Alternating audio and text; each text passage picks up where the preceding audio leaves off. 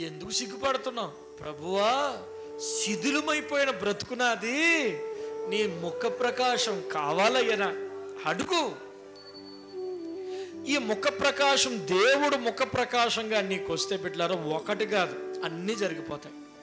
FC రాసిన పత్రికలో ఒక మాట మచ్చుకు చెప్పాడు. ఏమిటో తెలుసా? దేవుని ముఖ ప్రకాశం ఎవరి మీద పడుతుందో మృతులు సజీవులుగా మార్చబడిపోతారట అండి. మృతం అనేది జీవంగా మార్చబడిపోతుంది.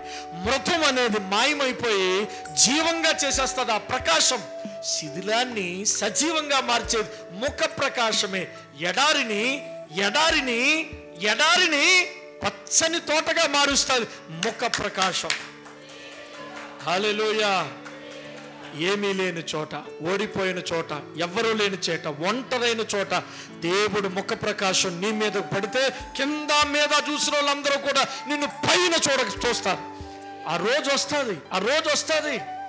ఆ రోజు దేవుడు నీ నమ్మకం అంతా దేవుడి మీద పెట్టు.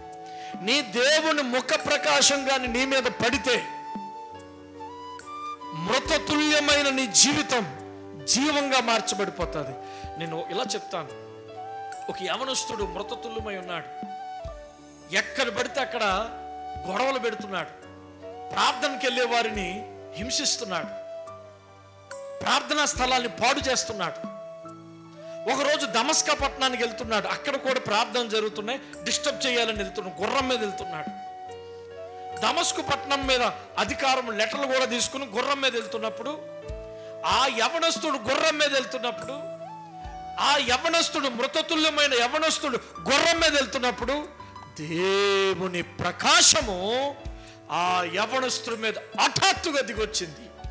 ఆ ప్రకాశానికి ఎవరు ఎదురు వెళ్ళలేరు ఆ ప్రకాశం దిగనంత వరకే నీ తైతక్కలు. ఆ ప్రకాశం దిగనంత వరకే నీ బాధలు.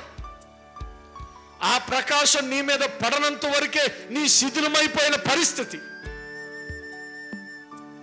ప్రకాశం ఎప్పుడైతే పడతాదో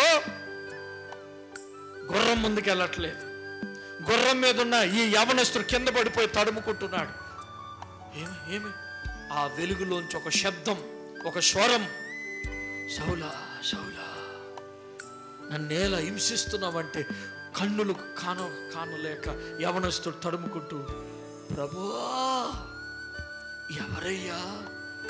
ఆ స్వరంలో నుంచి ఆ ఆ వెలుగులోంచి ఆ ప్రకాశంలో నుంచి ఒక మధుర స్వరం. నీవు హింసించుచున్నా జీసస్ క్రైస్ట్ నేనే. దేవుడు కాదు యేసు ప్రభు మరియకు పుట్టాడు మానవుడే చచ్చిపోయాడు వాళ్ళ దేవుడు ఏళ్ళ దేవుడు. యేసు ప్రభువే ఆయన దేవుడు కాదు. అని తిట్టావు కదా. ఆ యేసు ప్రభుని నువ్వు చిన్నగా చూసావు కదా. ఎవరైనా యేసు ప్రభు బైబిల్ పట్టుకుంటే కామెంట్ చేసావు కదా? వాళ్ళ దేవుణ్ణి నేనే. నువ్వు నిజంగా ఉన్నావని అనుకోలేదయ్యా. నేను ఉన్నవాడును. లే.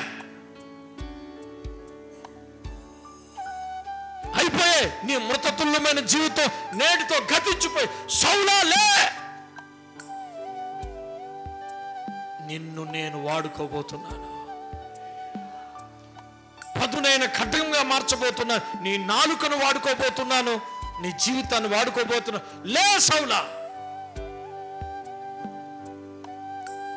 ఈరోజు ఇక్కడ కూర్చున్న ప్రతి ఒక్కరి మీద దేవుడు మొక్క ప్రకాశం పడితే పడిన సౌలు కాదు లేచిన పౌలు కనపడాలి.